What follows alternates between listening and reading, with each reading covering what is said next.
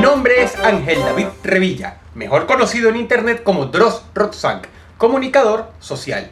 Y este es el noticiero menos ortodoxo que has visto en tu puta vida. Hoy, primero de marzo del año 2012, la ley CINDE entra en acción. Se ha aprobado y hoy está vigente. Ustedes saben que yo siempre me he opuesto a cualquier iteración que busque controlar el Internet o de romper las pelotas por medio de intereses económicos. No voy a darle el gusto a ningún cabeza de huevo allá en España de ser el personaje con más suscriptores en YouTube Argentina y decirles pirateen, salgan y suban canciones y películas a Internet. No, no. La piratería es mala. Pero les voy a pedir lo siguiente.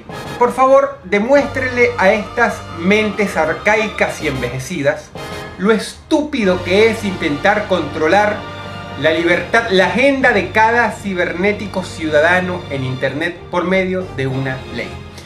Yo lo he dicho varias veces, espero hacer un video más tarde este año o quizá el próximo año riéndome de la señora Cinde y riéndome de todas aquellas personas que intentaron cometer la idiotez de creer que se puede solucionar un problema en Internet por medio de una ley.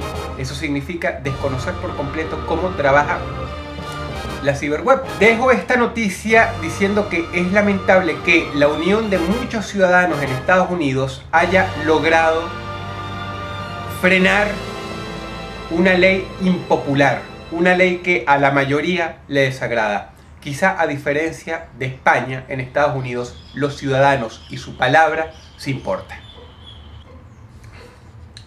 Rumor. Parece ser que Electronic Arts está desarrollando Sin City 5.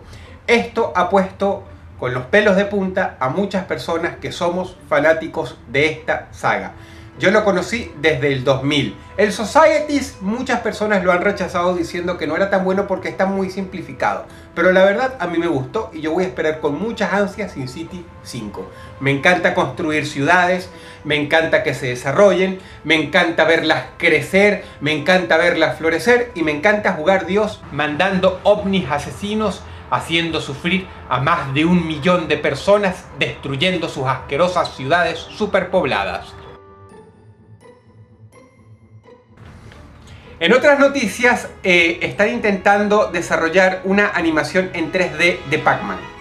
La verdad no sé qué quieren lograr con esto, puesto que desde el vamos sé que va a ser una mierda. Sí, lo siento, sé que debería ver algo antes de juzgarlo, pero todos sabemos que va a ser una mierda. ¿Por qué siguen intentando estas cosas? Digo, ¿qué es lo que pretenden estas personas? ¿Creen que de verdad va a tener éxito? ¿Creen que de verdad a la gente, los chicos les va a gustar Pac-Man en 3D, ustedes se pueden imaginar una de las historias. Es decir, se cancelan tan buenos proyectos que tienen tantas personas, o por lo menos que lo manifiestan por medio de sus blogs en la red, en internet, y se le da luz verde a esta mierda. Pac-Man en 3D la animación. El director se hace la paja todas las noches pensando que está produciendo el próximo hit, el próximo Pokémon, el próximo Yu-Gi-Oh! El próximo Samurai X, el próximo Dragon Ball Z, Pac-Man en 3D. Si pasa el tiempo y ninguno de ustedes oye hablar de esta animación es porque murió más pronto de lo que vivió, no porque el servidor les esté mintiendo. En serio, Pac-Man en 3D, de verdad, piensan hacer eso. ¡Wow! Marzo va a ser un mes muy, muy, muy excitante en cuestiones videojugabilísticas. Tenemos estrenos increíbles, algunos de los mejores del año van a venir en los próximos 30 días. Por ejemplo, Mass Effect 3. Todos aquellos obsesionados con Skyrim ya tienen el próximo gran título RPG, el único que de verdad le puede hacer sombra a la todopoderosa saga de Elder Scrolls. Mass Effect 3. A los adictos al survival horror les tenemos excelentes noticias. Silent Hill 6, mejor conocido como Silent Hill Downpour, va a haber la luz en las tiendas, en las estanterías para que ustedes se puedan llevar una copia a casita. Silent Hill Downpour.